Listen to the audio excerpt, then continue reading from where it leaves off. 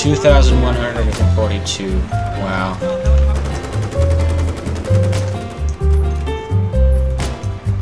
One thousand seven hundred and nine. So this